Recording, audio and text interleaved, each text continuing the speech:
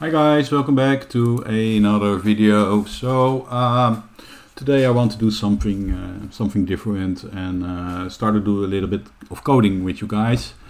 Um, I'm, I'm sure you you all seen things like this on YouTube. Uh, highest triple super trend trading strategies. Uh, here's another one: 76% win rate.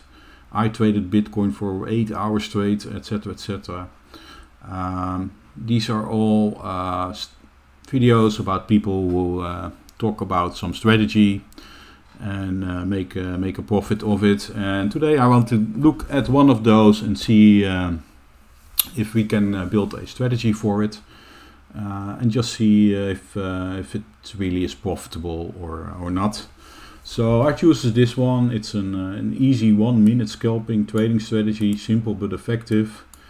Um, and let's try and see if we can build this in NinjaTrader. So the strategy itself is indeed pretty simple. It uses three EMAs. Uh, the white one is the 100 EMA, the yellow one is the um, is the uh, 50 EMA, and the purple one is the 21 EMA. And then you have a standard Williams uh, fractal indicator. And the idea is that if price uh, uh, is above the, uh, the, EMA and comes back um, into the uh, into the EMAs, but not outside, so it pulls back. Then we're going to open a trade at the at the Williams fractal when it prints. Now the Williams fractal always prints two bars later, so there's a little bit of delay. But um, yeah, you open a trade and then uh, let's see if we have an example for here. Um, then you uh, use the uh, an average risk of reward of 1.5 and um, yeah I think here you can see it uh, the the stop is placed on the yellow or the white line depending on uh, on where uh, the uh, the indicator is printing. So that that's the the basic idea. If you want to know more then you can just go to this to this to this video. Um, but um, yeah, let's just see if we can build it in uh, NinjaTrader. Uh, well, the, the, EMAs are not a problem. Those uh, you can find those already in NinjaTrader. Um, and although NinjaTrader also comes with a, a fractal indicator, uh, somehow uh, NinjaTrader decided that you cannot use that indicator in strategies, which is pretty bad. Uh, but luckily somebody came up with a another fractal indicator. So I'm going to use this one. I already downloaded and installed it. Um, and yeah, let's see if we can, uh, can start building. So uh, what we're going to do is first we need to build a strategy. And we can use Bloodhound for this. We could use the strategy builder for it. Uh, but I'm going to use the, the Ninja script editor because I like, uh, I like coding. And what we will do is we go to strategies, uh, we go to new strategies, and I'm simply going to name my strategy demo and press generate. That's all I need. And there is my code. Uh, let's save it. And um, that already creates the strategy. Um, you can already build it. Uh, note it's building it right now. And after it's done building, we should hear a sound. Right. And you can now add it to your uh, to your chart. There it is, the demo strategy. Um, but since we didn't add any logic, uh, this is just a blank one which doesn't do anything. So next step is to add some logic um, and uh, see if we can uh, make it uh, work. Um, you could do that in the uh, script editor itself, but I like uh, Visual Studio, which is a uh, professional uh, development uh, EDA. Um, so I'm going to use that for uh, coding the, the indicator. And if we select the, the demo strategy, then here we can see what Ninja created for us. It's pretty blank. And the first thing we're going to do is change a couple of things. First of all, I want my strategy to calculate uh, on each tick and not on when a bar closes. So every tick um, which we get, I want to get a, uh, an update from uh, from NinjaTrader. And um, let's see if we normally this should work. Let's see. Yeah, there it is on each tick. Okay. Uh, another thing I want to change is the is exit on ses session close strategy. Uh, what that does is it's by default it's true and it means that when the session closes uh, all trades will be closed by NinjaTrader.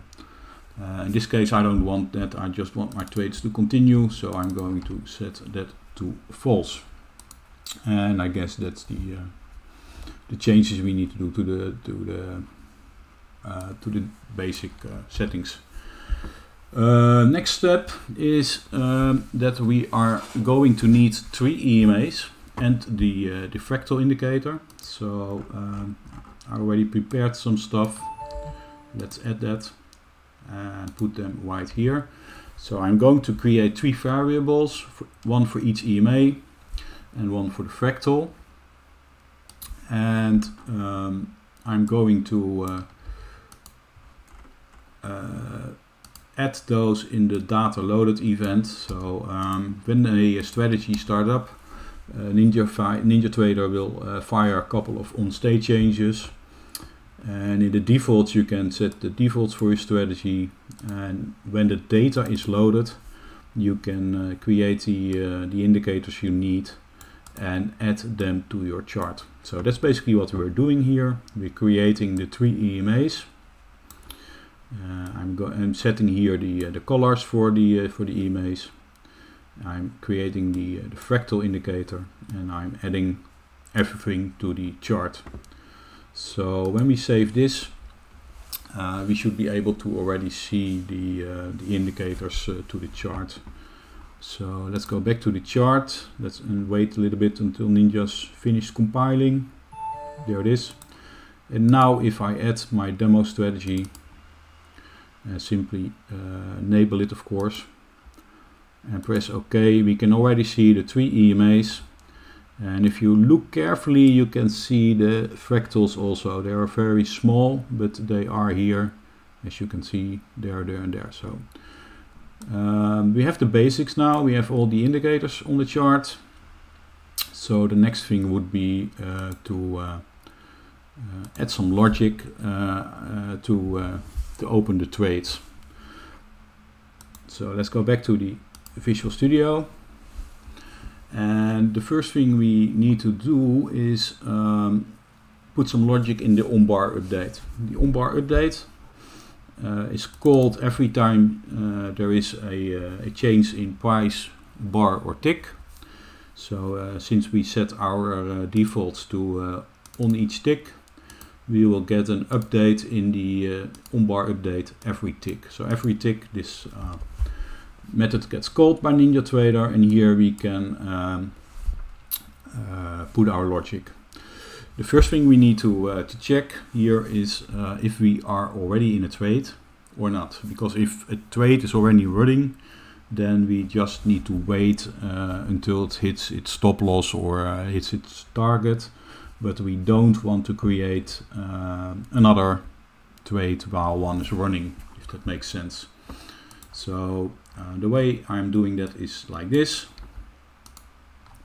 I'm currently checking my, my uh, position and if that uh, is flat uh, then we can create new orders and if it's not flat then uh, we don't do anything.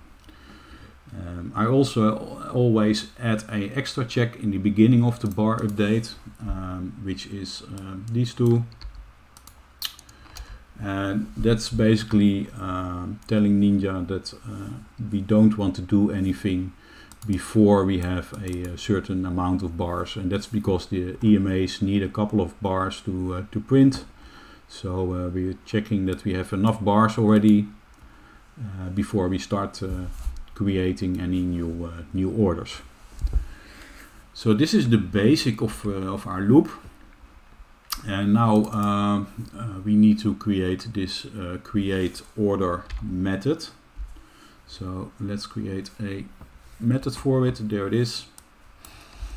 And what we're going to do here is uh, check the several conditions uh, for creating an order. So what are those conditions? Well, for a long, um, for a long, we want the three EMAs in these uh, in these uh, settings. So we would like to see the purple one on top of the yellow one and the yellow one on top of the white one. And for a short, that should be just the diff uh, just the other way. Then the white should be on top of the yellow one and the yellow one should be on top of the uh, purple one. So that's the first test we are going to make for the uh, uh, for creating the orders. So for the longs um, we can use something like this where we say that if the EMA of the uh, EMA 21 which is the purple line let's make it a little bit smaller and go to a, uh, a long setup like here. Uh, if the EMA 21, which is the purple one, is higher than the EMA 50, and the EMA 50 is higher than the EMA 100, then uh, we are going to look for longs. And the same goes for uh, shorts. Um, and that's the other way around. So we can copy that one right here where we say, okay, if the for shorts we want the white one to be on top, so the 100 should be above the 50, which is the yellow one, and the 50 should be above the 21, which is the purple one. So here we are going to look for shorts. Now you will see this uh, uh, number 3 in parentheses, uh, and that's the, uh, the amount of bars we look back. If you uh, change it to zero, then it's looking for the uh, for the last bar or the current bar. So if we scroll all the way to the right, um, then this would be the current bar at the moment. This is the bar which is building, and that's bar zero. That's zero bars back, um, and that's what you can put in here. And in this case, we want to look three bars back. Um, and why is that? That's because the uh, delay of the uh, Williams indicator. So the Williams indicators, like like here, will print when we have two uh, uh, up closing bars, like here. So on the third bar, we want to uh, we want to see if there is a uh, if there is a signal printed, a, a, Williams signal printed, and that's why we are looking three bars back. So uh, perhaps I can show this also in the, uh, yeah, I can also show it in the data box. And let's select the, uh, so for example, um, you can see it on the signal here. The signal tells us when the bar printed. Um, so although it prints the bar right here, you can see that on this bar the signal is zero. Then the next bar the signal is zero. And here, finally, on the third bar, we can see that it printed a minus one, which is a red, uh, uh, red Williams fractal.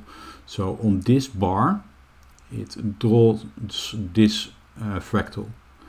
And the same goes for the uh, for the longs. If you go, for example, to the uh, let's see the, this green fractal around here, again you can see the signal is zero. The next one is zero, and then on the third bar the signal becomes 1 and that's when it prints the uh, uh, it prints the uh, how do you say the uh, the fractal. So that's why we are looking three uh, bars back. So um, these are the two conditions for at least the EMAs and now we have to check um, the, uh, the fractal. So let's do the longs first and let's copy this part and then I'll explain what it what it does. So um, here we have the uh, the next condition. So we already uh, found out. Um, that's quite a nice example. For like here, we already found out that the uh, EMAs are in the correct place. So the uh, the purple one is above the yellow one, and the, and the yellow one is above the, the white one. That's that's the first test we uh, we did right here. And now we're going to check if the uh, the signal of the previous bar is minus one or below zero. So what it's doing is that uh, in this case you can see the this bar the signal is minus one so this is the bar which prints the fractal and I want to check that on this bar. So this bar uh, I'm going to check if the previous bar, which is this bar, has a minus 1. And that's the case here.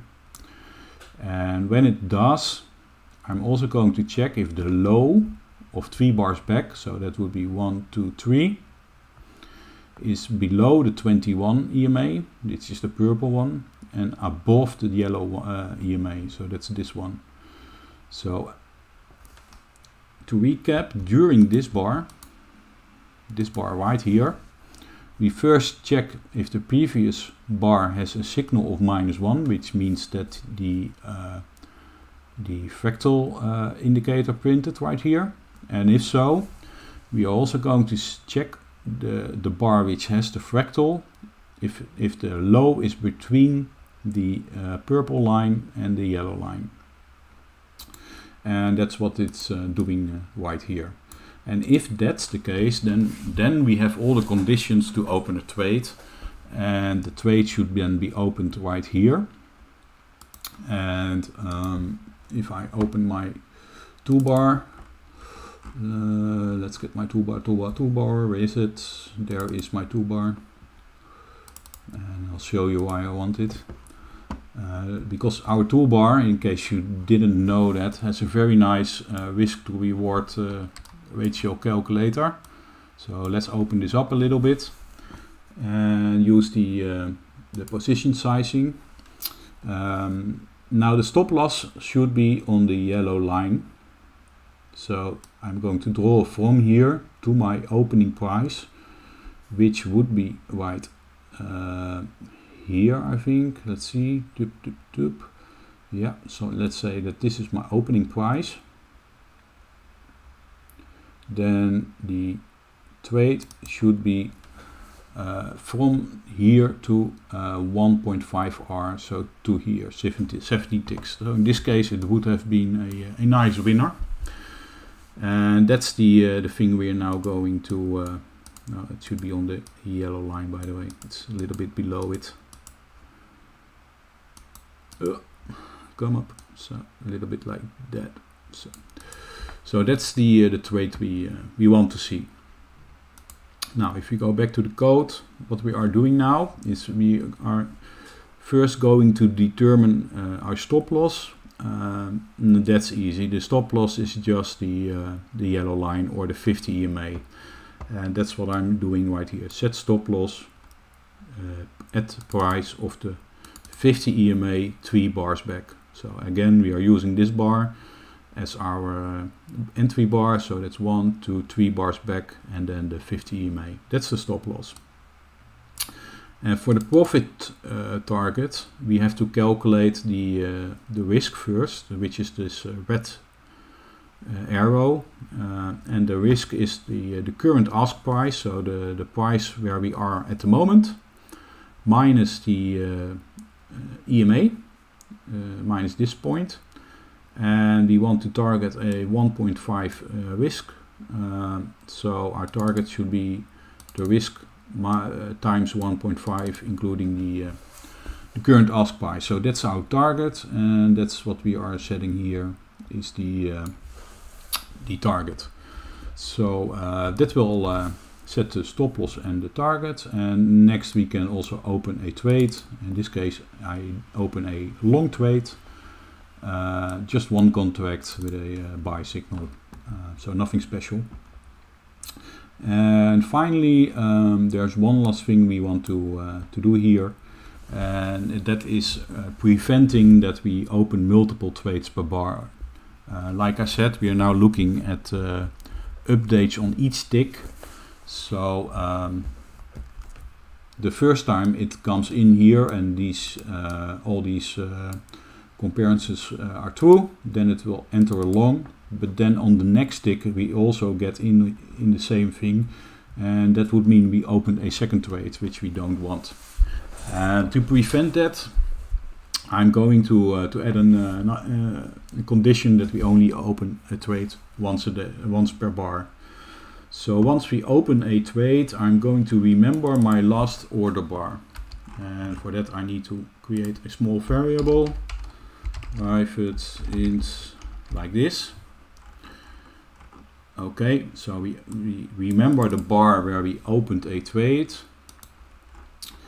And then in the onBar update right here, we're going to check if the current bar is the same as the last time we ordered um, then we just return and if it's a new bar then we also can create new orders so um, that's the uh, the basics for the long. And well why not try it out already and see if uh, if this happens? If uh, all things uh, went correctly we should see it opening a trade right here all and running all the way to the uh, to the 1.5R. So let's um, try that and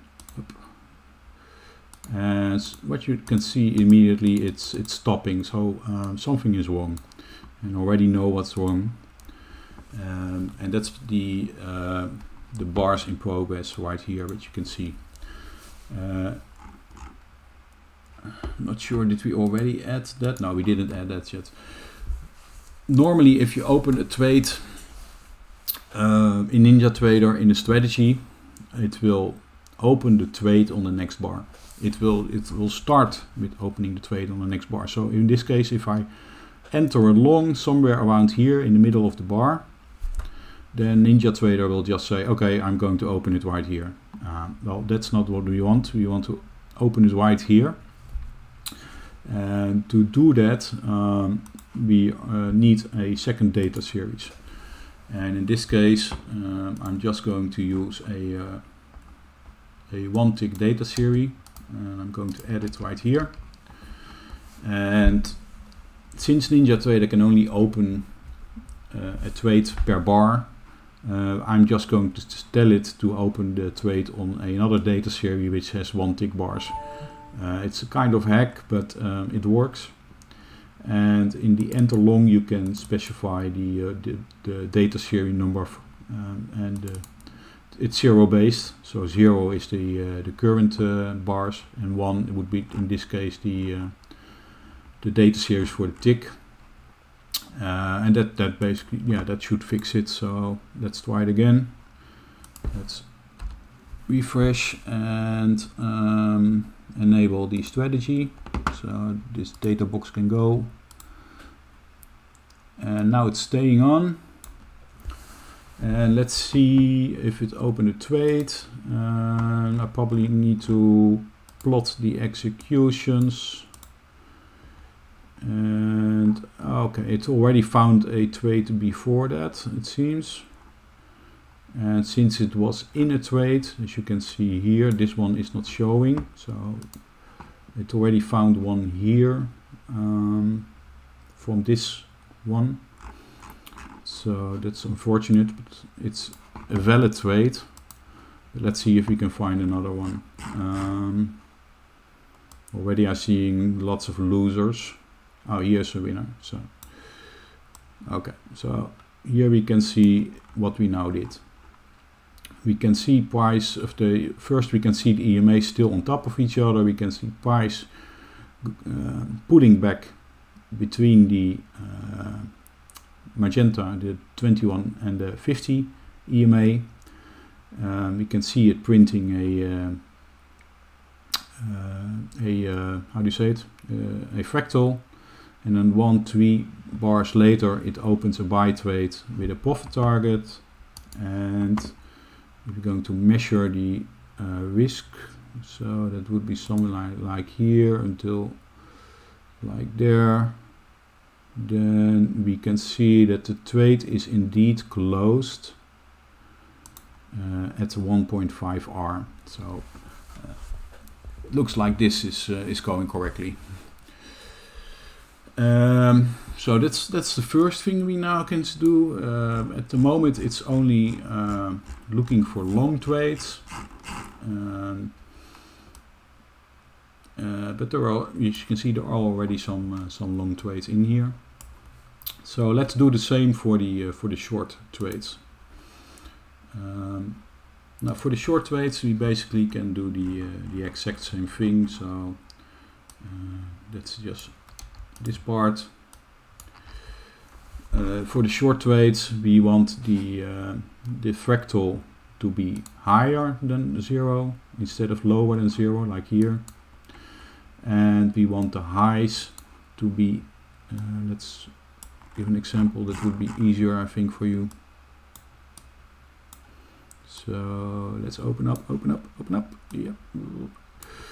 So we want the uh, the fractal to print uh, green, which is plus one, and we want the price to pull back inside the uh, inside the uh, 21 and 50 uh, EMA. And that's what we are checking here. We want the highs of the bar uh, bigger than the 21, so bigger than the purple, uh, but smaller than the, uh, the yellow one, the 50. So price should be between these lines. And if that's the case, then we are going basically to do the same thing. We're going to calculate the risk, uh, the target, we enter a short, and we set our stop loss and targets uh, correctly. So that's basically the just the inverse from what we did uh, above. And now if we are going to reload the script and wait a bit until it's loaded. It's yeah, it's enabled. We should see some uh, some shorts also. Uh, let's see, do we have a short? Still, that's a buy. That's a buy. Not seeing any shorts yet. Did we make a mistake? I only see buys, buys, buys.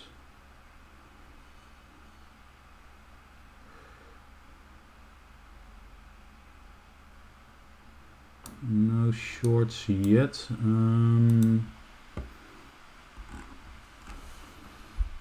let's see. Uh, this is okay. This is okay. Did it load then?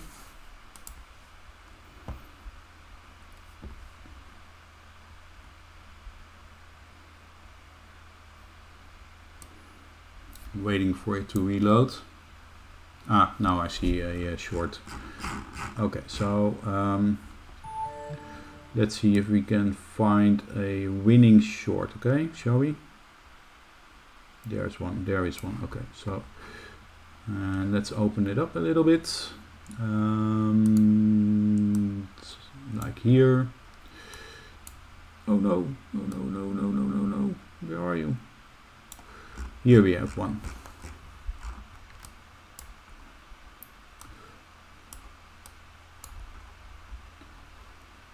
So here we have a, uh, a winning short. You can see price pulling back between the, uh, the purple and the yellow line. So um, and then we can simply draw our risk and that's going all the way to like here because there it's opening the trade and then oh if we drag that all the way to the right we can see that it's indeed closing the trade at 1.5 R. So that's those are the sell uh, sell trades.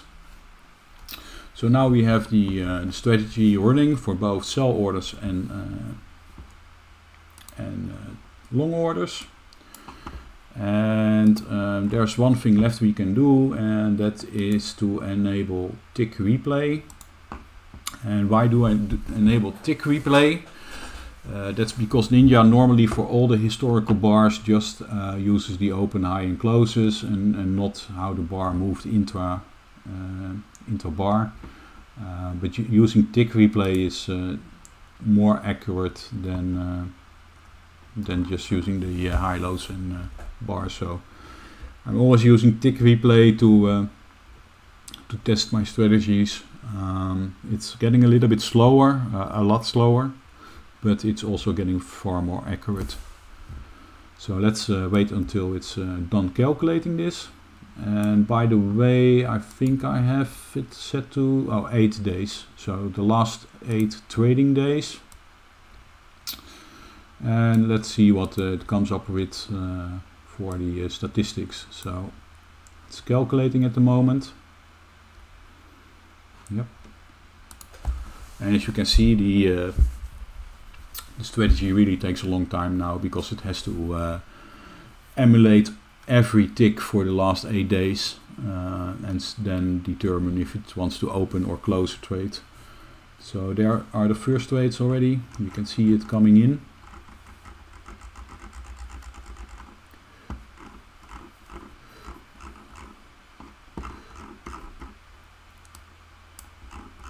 And it's almost there. And you already can imagine that if you're going to back this, this for a couple of months, then it, uh, you can uh, uh, take some coffee or uh, do some other stuff because it will take a long time to uh, backtest this. But uh, yeah, so eight days based on tick data, and now we can go to the strategy performance, select demo, and get a historical the historical performance for the last eight days and here you can see that uh, sadly this uh, this strategy is not profitable. It's just losing money. Uh, it has a winning percentage of 30% with uh, 42 winners 96 losers. And uh, the average winner the average winner is 163 the average loser is 100 um, so this is not bad because that's uh, about 1.5 which should be correct but um, yeah it's uh, overall it's not uh, it's not profitable. And um, yeah this is uh, uh, what I already expected. Um, normally all those simple strategies based on moving averages or fractals or stuff like that are not profitable when you backtest them. Uh, now it could be different when you are actually trading them and I mean trading them manually because if you are starting to trade this manually um, then objectivity also comes into mind of subjectivity uh, because you are going to judge every trade to see if you want to trade it or not or take it. So perhaps you would not have taken this one and maybe you would have taken a trade here although it's not very accurate not completely according to the rules so um, by trading things manually um, you uh, you will get uh, completely different results than uh, backtesting it uh, like here. But um, yeah, this is uh, how you can uh, just find a simple strategy on, on, on, on, YouTube and build a, a strategy from scratch using the, the NinjaTrader and the NinjaScript code and um, you can see it's just 137 lines it's not that much and uh, yeah backtest it and of course, if you if you cannot code, um, then I'll suggest you learn it, but because it's always useful to know. Um, but you can also use the, uh, the NinjaScript Builder or Bloodhound to uh, to build stuff like this. But yeah, I find I'm just quicker with code than uh, messing around with uh, products like that. Um, so that's it for today, I guess. I hope you learned something from it, um, and if not, then uh, well then you hopefully enjoyed it at least. Let's say that. Uh, that's it for today. Um, let me know if you if you like stuff like this because um, if you do, then I might do some other videos uh, on building strategies in code. Um, if you totally didn't like it, then let me also know because then I'll stop doing them uh, for you. Okay, see you later and bye bye.